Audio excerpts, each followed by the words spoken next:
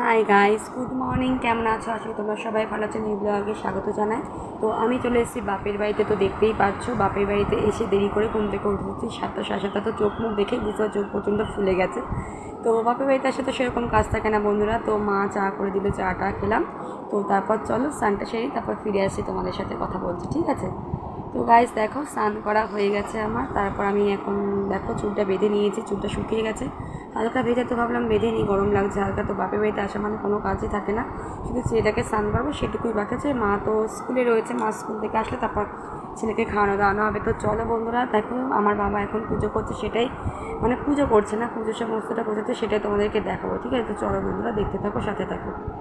দেখো আজকে দুপুরে কি রান্না হয়েছে? এটা হলো ভাত হয়ে গেছে, আর সকালে রুটি, আলু চচ্চড়ি খাওয়া হচ্ছে সেই চচ্চড়িটা রয়ে গেছে। আর ছেলে তো পুরো মাছটা খায়নি, ওটা অর্ধেক দিয়েছে, আর একটু আলু মাখা রয়েছে, আর কাতলা মাছের মাখা মাখা ঝোল রয়েছে। খুবই টেস্টি এখনও খাওয়া হয়নি, তো চলো দেখতে থাকো। আর এই দেখো আমাদের বাপের বাড়ি ঠাকুর মন্দির, যেটা কালী পুজো আমাদের বছরে দীপাবলিতে। বাবা এখানে আলপনা দিচ্ছে সুন্দরভাবে, আর মা সকালবেলা পুজোতে একটু মা কালীর বেদিতে একটু ফুল দিয়ে পুজো দিচ্ছে। আর দেখো এখানে কত ফুল তুলেছে বাবা আজকে। দেখো কত ফুল, দেখো চন্দন জবা আর লাল জবায় ভর্তি। আর বাবা সুন্দরভাবে পরিষ্কার করেছে, আর বৃহস্পতিবার মানে প্রচুর কাজ তো চলো বন্ধু